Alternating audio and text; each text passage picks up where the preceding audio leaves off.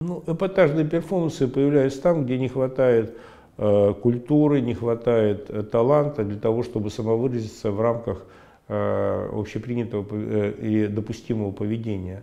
Э, тогда возникают такие эпатажные перформансы. Поэтому, ну как нему сказать, это реальность, так же как Шарли Эбдо с этими мерзкими карикатурами, которые, да, это безобразие, не просто безобразие, это э, преступление, то, что э, люди с оружием в руках вот, э, убили журналистов, но я считаю преступлением то, что эти журналисты делали.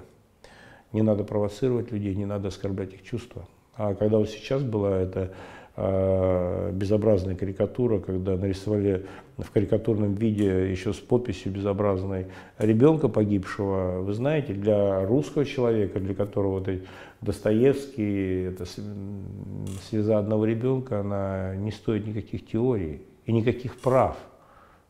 Она выше всего. Это как можно так насмехаться над смертью арабского мальчика? Разве можно над этим насмехаться? Нельзя. Это деградация нравственности, деградация личности. И никакие декларативные права и свободы не дают права э, унижать других людей. Наша свобода кончается там, где начинается свобода другого человека.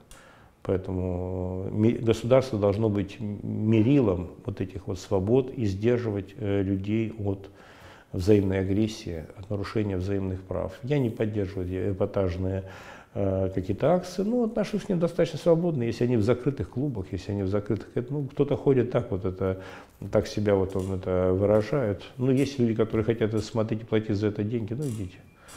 Я к этому отношусь абсолютно спокойно, но я против того, чтобы эти акции были публичными, демонстративные, чтобы в них вовлекали детей и так далее. А так, если кто-то это делает, проще им дать возможность самовыражаться где-то там в каких-то определенных местах, чем э, поддаваться на провокации и реагировать э, на это как-то публично или каким-то с помощью каких-то государственных акций.